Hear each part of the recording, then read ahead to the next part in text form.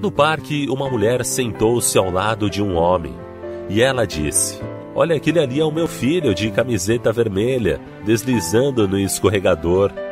Um bonito garoto, respondeu o homem e completou: Aquela de vestido branco, pedalando ali a bicicleta é a minha filha.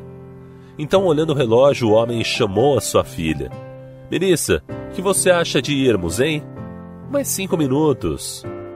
Ah, pai, mais cinco minutos, vai, por favor, só mais cinco minutos. O homem concordou e Melissa continuou pedalando a sua bicicleta para a alegria do seu coração. Os minutos se passaram e o pai levantou-se e novamente chamou a sua filha. Hora de irmos agora, Melissa, vamos. Mas outra vez a Melissa pediu: Mais cinco minutinhos, pai, só mais cinco minutos.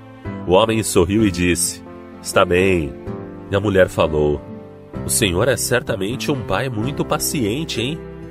E o homem sorriu e disse: Sabe, o irmão mais velho da Melissa, ele morreu no ano passado por um motorista bêbado quando montava sua bicicleta perto daqui.